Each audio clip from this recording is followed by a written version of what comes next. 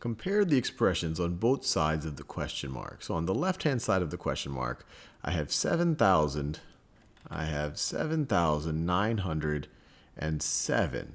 So it's 7,000 plus 900 plus 7, which is going to be the same thing as 7,907.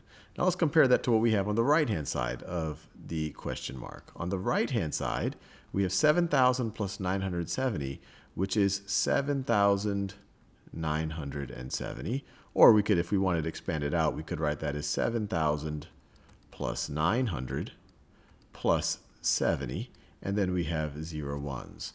So if we compare place value by place value, we have 7,000 in either case, so the thousands place is the same.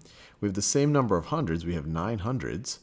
But here we have no tens and we have a 7, and here we have no ones and we have 70. And clearly 70 is greater than 7. So the number on the right is greater than the number on the left, or the number on the left is less than, less than the number on the right. I always remember the less than symbol because it points to the smaller number, or either of these symbols point to the smaller number. So this right over here would mean greater than. You have the larger number on the left. This is less than. You have the smaller number on the left. So we would go with less than. This is less than that.